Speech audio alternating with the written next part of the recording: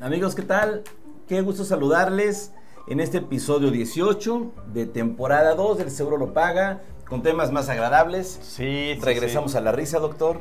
Pues es que sí se da risa, caray. La Podemos es echar que... chistes de nuevo, doctor. El pasado no podíamos, No, teníamos que no, no. portarnos a la altura de la Ya sé. circunstancia y estar medianamente serios, ¿verdad? Pero ahorita sí ya regresamos. Pues es que la verdad hacen cada cosa que dices, pero bueno. Ahorita lo vamos a platicar. Si es de mucha risa. ¿Cuál es el tema, doctor? Incidentes en plazas y tiendas Del Black Friday. de Black Friday. Eso va a estar muy bueno, amigos. Hay que verlo. y son escenas reales, ¿no? Sí, ese también, ojo, este mes no hay escena de película. Eh, hoy también son puras escenas reales. Por eso nos dieron otra palomera real, o sea, un plato. gracias. Exactamente. No es actuado, no son actores. Son gente que nos llena de risa con sus ocurrencias y su falta de civismo. Exacto. Pero bueno, vamos a la risa, doctor. Corre cámara. Ve nada más. ¿Y estos? Eso es rapiña. Oye, sí. Ugly scenes. People Hoy se lo slugging it estaban out right in the middle of the aisle, fighting to get their hands on some of the best deals. Ve nomás. This woman, we can't get enough of this video. Using what ¿no? Que looks like a stun gun on another bargain Pero ve hunter. la ABC's Rob Nelson has been following this all. It begs the question, Rob, has Black Friday gone a bit too far? And check out this brawl from inside a Texas Walmart as two women battle for a TV Oye, set. sigue Black Friday todavía después de que ese tipo de... Police eventually throwing one woman to the lo floor venden, no lo van a and cuffing her. Dicen, pues como queda tres situation clientes se in Pero la venta a man? Security expert J.R. Roberts says stores taking extra steps to lure in big crowds are man. not always taking extra steps for security. No, pues sí está rudo. No, está espantoso, doctor. Yo creo que aplica también de saqueo y vandalismo, ¿no? Se supone que se lo pagan en la caja. Pues Entonces, no, no yo, es un digo, saqueo. yo digo que aplica como robo de mercancía. Pero se supone que lo acaban pagando. ¿Y si lo pagan? Sí, se supone que sí. Ya. Todo eso tienen que pagar. Entonces no califica saqueo porque no es un robo, ¿no? Pues, Entonces, híjole. Digo que a lo mejor se pierden dos, tres cositas, ¿no? Claro. Eso sí, no lo dudo, pero no es un robo como tal. O sea, la gente se supone que está escogiendo y probándose la ropa que le queda para ir a pagarla. Sí, bueno, aquí en esta escena obviamente pues, pasa de todo.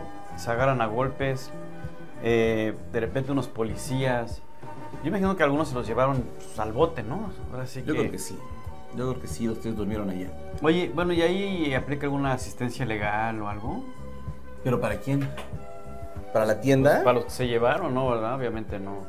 No, para, Para los la que se tienda. llevaron, no. Es que para mira, la tienda sí hubo daño, ¿no? De mercancías, puede ser. Pues es que mira, la tienda se supone que esa gente está comprando. Entonces, pues que agarre a tirones, pues lo va a acabar pagando y se va a ver una ropa arrugada, ¿no?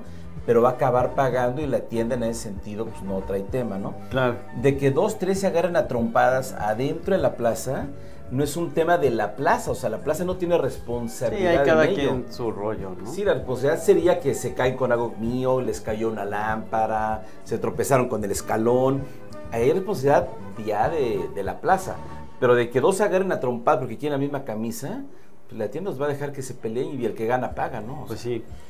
Oye, pero a ver, haciendo un poco, o poniendo un paréntesis, ¿no? Porque pues Ajá. aquí sí se ponen muy locos, ¿no? Pero en un hecho, digamos, distinto, donde a lo mejor hay una afectación de algunas mercancías o algo, entras a una tienda, rompes algo, ahí aplica algún seguro tanto de la tienda como del, o, o del que aparentemente iba a comprar. la tienda es muy difícil que le puedas fincar una responsabilidad al que va a comprar, a menos que le compruebes que él hizo el daño.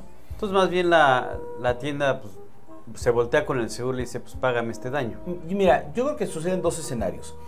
El primero de ellos es que la mayoría de la mercancía que tienen las tiendas en, en realidad es mercancía en consignación. Entonces, si rompen mercancía, la va a tomar y se la va a devolver al fabricante. Oye, ¿qué crees? Rompieron esta, cámbiamela. Entonces el fabricante es el que sale bailando. Entonces va como que a pérdida. Pero por otro lado, la es que venden tanto que son que acaban asumiendo.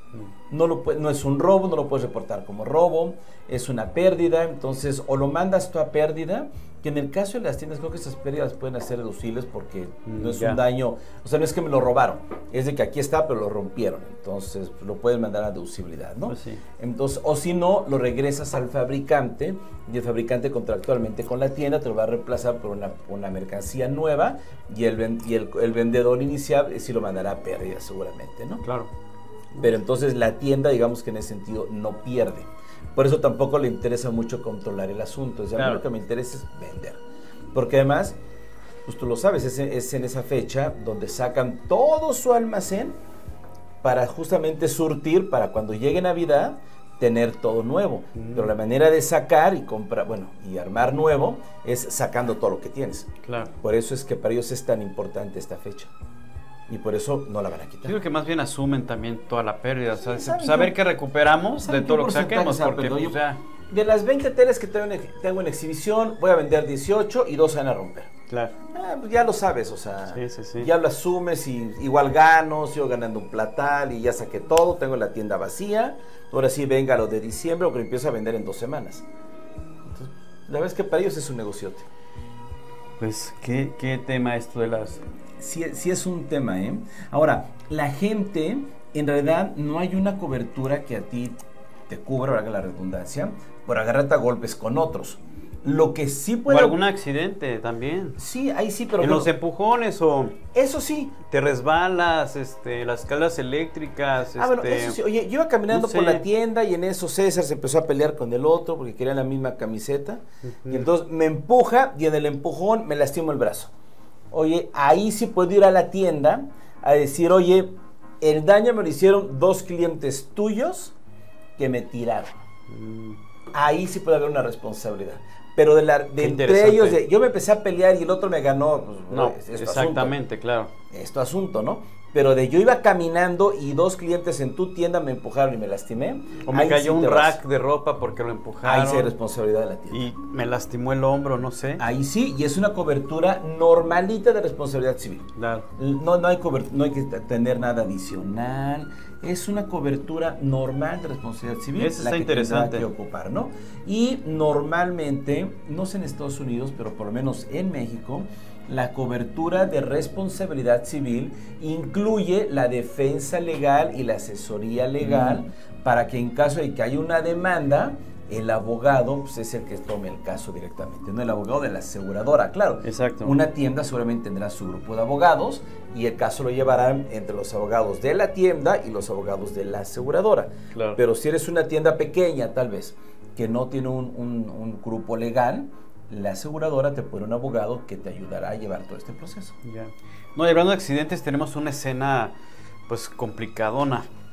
Complicada, este, que tiene que ver también con este día del Black Friday y aplica como un accidente. Vamos viendo a ver, a ver si sienten el seguro o no, ¿te parece? Doctor, por favor. A ver, corre cámara. Estos son centros comerciales. ¡Uy, qué onda!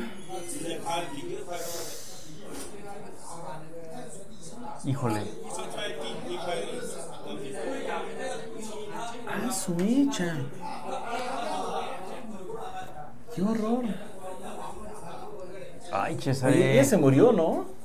Me dijiste una cena escalera, pero Tal ahora que una guagua que estaba en un andador Eso está cayó Una guagua, por una ¿qué es una escalera guagua? mecánica Eso. en China. Ahí está la imagen, es impresionante. Fue un descuido de sus padres que pudo haberle provocado pésimas consecuencias eh, a esta guaguita, de hecho se las provocó. Eh, lo que pasa es que eh, hubo personas que fueron muy diligentes y que alcanzaron a ayudarla, porque esta guaguita tenía y tiene solo nueve meses y eh, estaba en este andador para en el que estaba al interior de una tienda.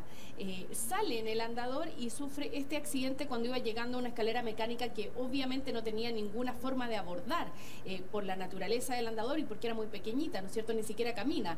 Así es que eh, cayó. Qué bárbaro, eh, es un descuido de una los vuelta papás en el impresionante andador ese, Y a los segundos aparece este hombre que subía por la escalera y eh, No, pudo rescatarla. Sus padres aseguraron que no sufrió heridas de mayor gravedad, pero No, sin pues, duda fue un momento. Imagínate, extremo ¿no? Ni modo que digan, no, bueno, China ya, ahí muere.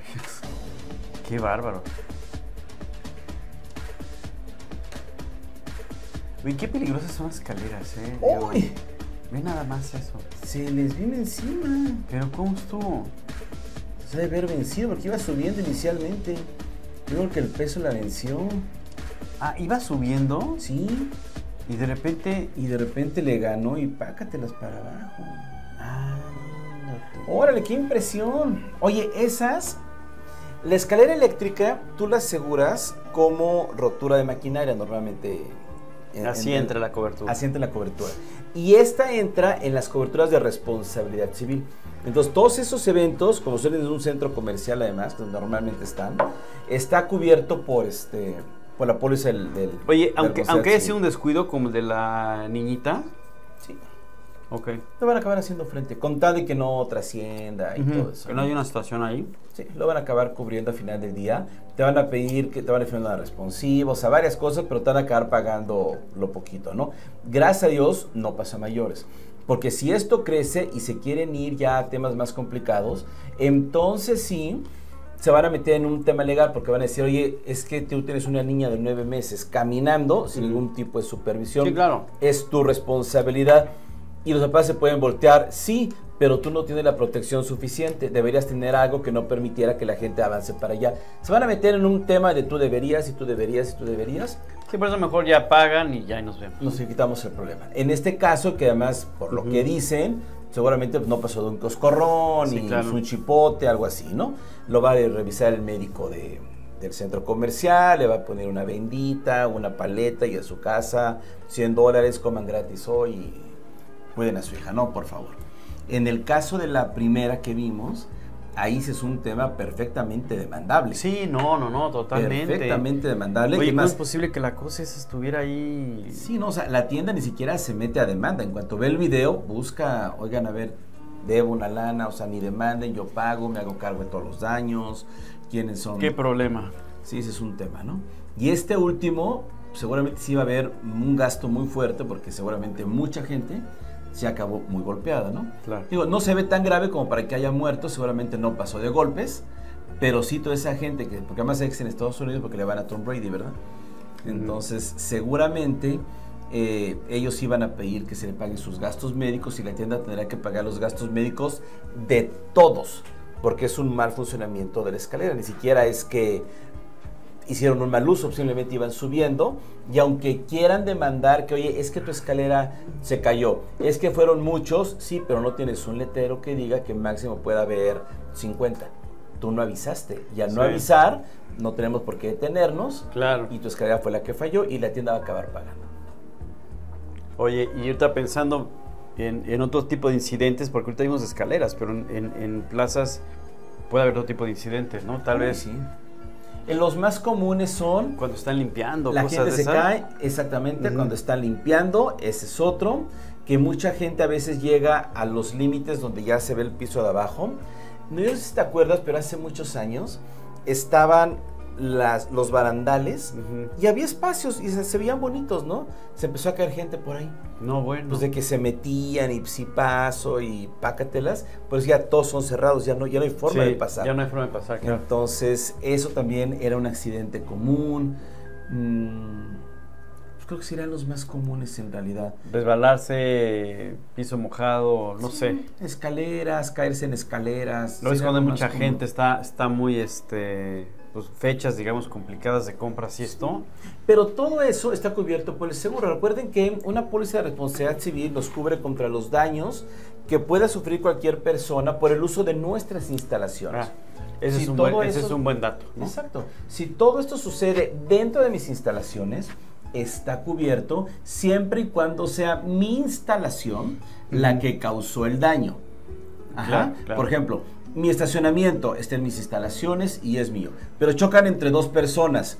Pues es un choque entre particulares. Claro. Ahí yo no tengo la culpa de ese choque, ¿no? Oye, pero yo choqué porque al ir por la rampa, la rampa estaba muy lisa y mi coche se fue para atrás y le pegué al de atrás. Ahí sí la, la plaza tiene responsabilidad. o hay rampas así como que muy empinadas y no ves si viene un carro de frente o no sé. Ahí puede haber, oye, pues yo estoy viendo al cielo porque así está diseñada tu rampa y ya que llego resulta que el otro viene de frente que tampoco me vio, es tu culpa, arregla tu rampa. Ahí sí puede haber un tema. Hay de todo entonces. Sí, la verdad es que sí hay que entender cómo sucedieron las cosas y todo eso. Pero la parte importante es que si sucede dentro de los predios y lo que causa el daño es la instalación misma, el seguro no va a poner peros, no va a objetar, te va a pagar todo sin ningún problema. Y si incluyes en algún tema legal, la aseguradora te va a apoyar en los trámites legales. Eso también está interesante. Es, importante entenderlo. Claro, por supuesto. Pues muy bien, qué barbaridad, cuántos detalles que a veces no sabemos si realmente podemos estar ahí dentro del seguro, amigos, y pues aquí estamos viendo que sí. Es correcto. Yo espero que el siguiente mes podamos ya reírnos un poco más, doctor. Porque ahora sí el César se ve que viene con actitud de Halloween Ay, y sí, sigue no. presentando escenas así Medio medios. medios medios. ahí te Medios, encargo, medios, ¿eh? Pero bueno, en fin, pues ya estamos. Muy bien, pues hemos terminado con el episodio 18 temporada 2 y bueno, pues seguiremos adelante con los siguientes episodios, espérenlos y cualquier cosa, pues háganos sus comentarios. Por favor, si quieren ver un tema en particular, avísenos y con mucho gusto vemos la, la chance de poder subirlo. Así los, del siguiente, los del siguiente mes ya están planificados. Vamos a hablar de Navidad y Año Nuevo. Van a estar buenos. como debe espero. ser. Y entonces, pero dan sus comentarios. Nos encantará leerlos. Así es, les mandamos un fuerte abrazo, muchos saludos. Que estén muy bien. Hasta luego.